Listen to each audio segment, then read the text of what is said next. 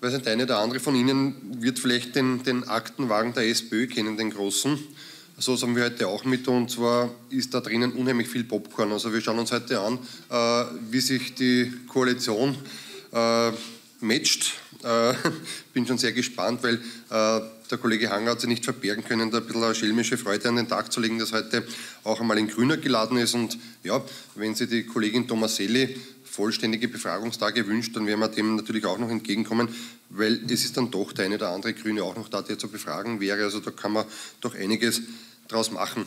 Ähm, der Herr Schimpel ist heute insofern ein interessanter Gast im Untersuchungsausschuss, weil er ja das äh, grüne Pendant äh, zum schwarzen Herrn Perner ist äh, in der KOFAG und weil wir wissen, nicht zuletzt auch aufgrund des Rechnungshofberichtes, der uns ja allen vorliegt, äh, dass dort auch nicht alles eitel Wohn ist und dass dort auch nicht alles äh, so äh, ganz optimal heruntergegangen ist.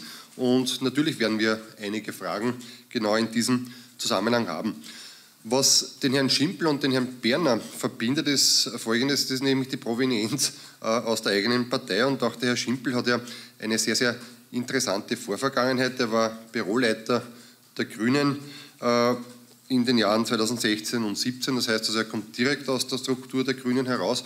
Und da stellt man sich schon die Frage, warum genau solche Vertrauenspersonen dann schlussendlich in eine ausgegliederte Gesellschaft entsendet werden müssen, die mit Milliarden jongliert und wo man ja bis heute nicht weiß, ob dieses Geld auch dort angekommen ist, wo es eigentlich hingehen hätte sollen. Das Einzige, was wir wissen, ist, es war wichtig, die parlamentarische Kontrolle auszuschalten. Zu Herrn Schimpel aber noch etwas Interessantes. Ich weiß nicht, äh, ob Sie das äh, in Ihren Recherchen auch schon gesehen haben, aber der Herr Schimpel äh, war ja auch Manager bei PricewaterhouseCoopers und das ist insofern interessant, als es genau diese Firma ist, die sich ja mit der KOFAG eine goldene Nase verdient hat. Also die haben ja Beraterverträge oder beziehungsweise Leistungen um über 400.000 Euro erbracht. Ja.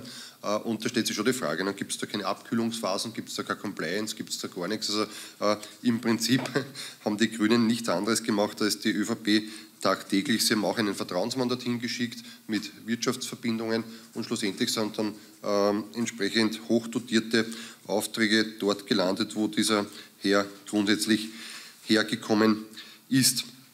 Interessant ist auch, äh, wenn die Grünen sagen, naja, also bei uns ist alles super sauber abgelaufen und äh, die ÖVP hat da jetzt vielleicht in der KOFAG nicht alles ganz korrekt gemacht. Naja, ähm, wenn man sich den Mailverkehr anschaut rund um den Herrn Schimpel und wenn man sich anschaut, wie es in der Gründungsphase der KOFAG gewesen ist, und wenn man weiß, dass aus dem Kabinett Gewessler äh, Schreiben existieren, wo äh, aufmerksam gemacht worden ist drinnen, naja, jetzt müssen wir schon aufpassen, dass sich die ÖVP dort nicht übervorteilt in der KOFAG und wir müssen da entsprechend was entgegensetzen, ähm, dann ist es für mich eine interessante Frage, äh, die natürlich zu diskutieren und zu behandeln ist. Und äh, ja, jetzt kann man sagen, die Grünen wollten den ÖVP-Postenschacher dort vielleicht bis zu einem gewissen Grad ausbremsen aber sie haben es genau mit der gleichen Waffe gemacht. Sie haben selber einen Postenschacher veranstaltet und schlussendlich jemanden genommen, der, wie gesagt, aus dem tiefsten Inneren der Grünen kommt und dann auch noch vielleicht ein paar nette Verträge für PricewaterhouseCooper mit organisiert hat.